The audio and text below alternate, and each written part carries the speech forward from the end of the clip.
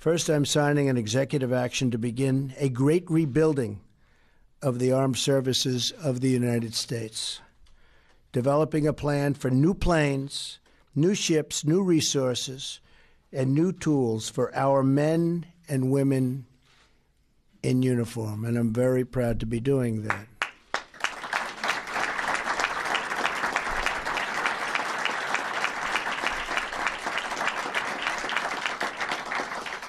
As we prepare our budget request for Congress, and I think Congress is going to be very happy to see it.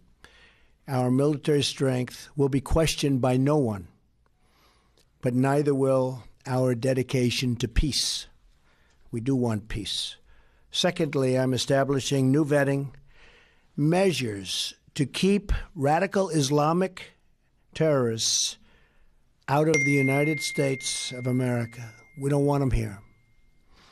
We want to ensure that we are not admitting into our country the very threats our soldiers are fighting overseas.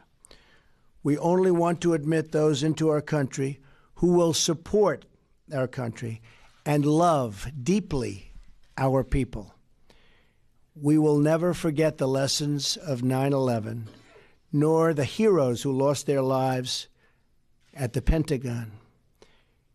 They were the best of us. We will honor them not only with our words, but with our actions, and that's what we're doing today.